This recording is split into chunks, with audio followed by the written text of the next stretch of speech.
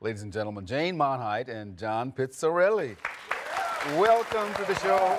Welcome, welcome, welcome, welcome.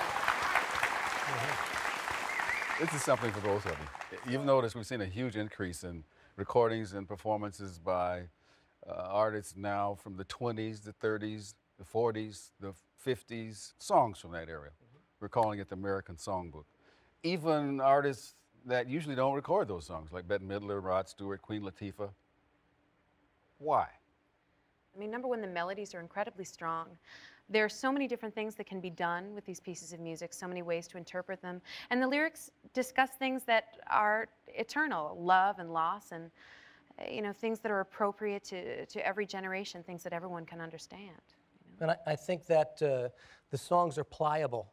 So from generation to generation, whether it's you and me or uh, Ella Fitzgerald and Louis Armstrong, everybody can sing all of me, and it's always different. they invite your interpretation. Right. Yeah, that's yeah. what they're meant for. Yeah. But that's the thing, as uh, Rosemary Clooney said to my wife, who's a singer also, and uh, who you, we've, we've all yes. been together on gigs, and at the end of the night, uh, she said to Rosemary, "Well, what do you, what, what should we do? What, do, you know, what, any advice?" And she says, "Just keep telling the truth because everybody knows the difference." Mm-hmm. I like that.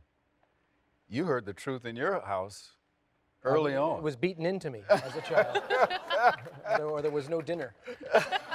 what was that like?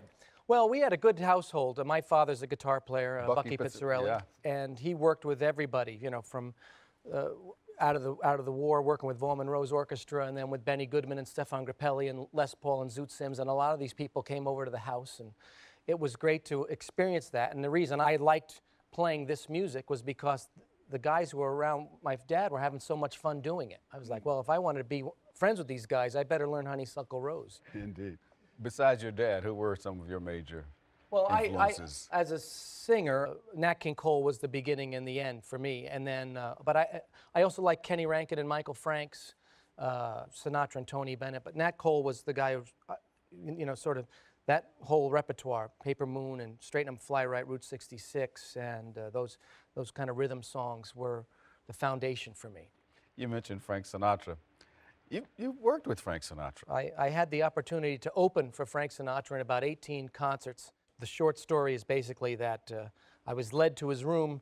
He came out. He looked at me. I sort of looked at him. I said, It's nice to meet you. And then he looked at me and said, Eat something, you look bad. that, that, was, that was the first? Was that was Italian. the first and last thing he, yes, he, he understood that. It was, it was all about pasta. Definitely. you draw from all kinds of music, all kinds of writers.